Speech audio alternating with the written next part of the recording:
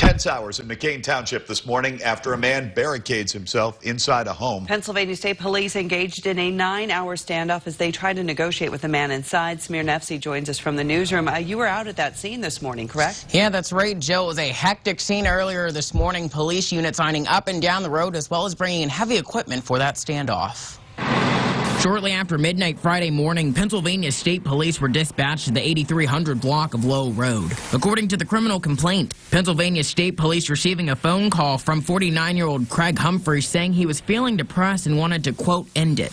During the call, Humphreys disclosed he had a 45 caliber handgun and a shotgun nearby and was looking for clips for an assault rifle. Humphreys also indicating that he had been drinking and had taken sleeping pills. Once state police arrived on scene, Humphreys barricading himself in the house, cutting off off all communication with police. The complaint noting several gunshots were heard from inside the house. It took Pennsylvania State Police Special Emergency Response Team and other units over nine hours to convince Humphreys to surrender without incident. He now faces several charges, including terroristic threats and recklessly endangering another person. Pennsylvania State Police officials telling us on site, despite the situation, everything did end as peacefully as possible.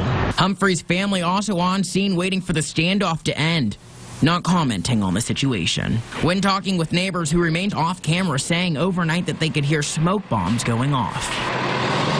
Humphreys is now in the Erie County Prison, as well as McKean District Judge Denise Lewis setting bail at $150,000. Jill. Okay, Samiar, thank you.